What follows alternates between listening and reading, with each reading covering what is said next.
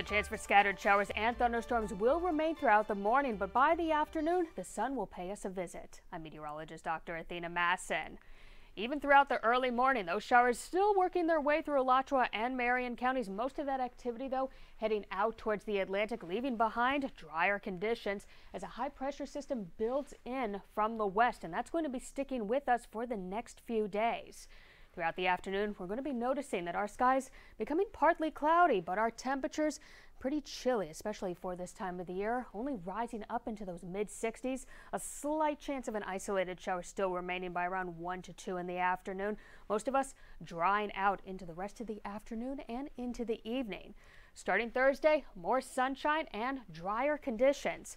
High pressure again will be building from the west, and that's going to be lasting right overhead through Friday. High temperatures should be in those low to mid 70s each day, but already monitoring our next system expected to arrive by Saturday. That's going to be increasing our rain chances once again just a little bit further. For the next couple of days, though, we just have to get through this morning with most of those showers and thunderstorms moving through the area, but our temperatures rising on up into the 70s beginning tomorrow afternoon, lasting through Friday. Next system pushes through by Saturday, and it's going to be another cool afternoon.